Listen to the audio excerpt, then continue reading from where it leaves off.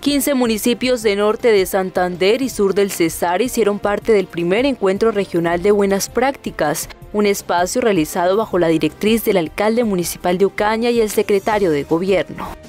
con el objetivo de poder hacer alianzas y de esta manera dar a conocer todos esos planes de acciones que tenemos para estas vigencias y de esta manera poder llegar a la población, esta población que cada uno de nosotros representamos y por la cual velamos por su bienestar. Es importante también resaltar este acompañamiento que se ha venido eh, recibiendo también por las ONGs como la, la MAP OEA, eh, la ARN, asimismo Naciones Unidas. Por medio de la misma se ejecutaron diferentes actividades culturales y capacitaciones en el marco de una paz justa para dichos municipios.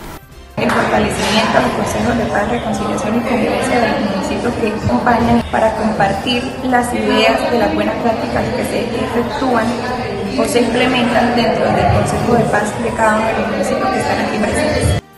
Durante el primer encuentro regional de buenas prácticas se evidenció el respaldo que desde el gobierno nacional y departamental se entregó para construir un tejido social donde prevalezca la paz para estos 15 municipios del territorio que integran norte de Santander y sur del Cesar.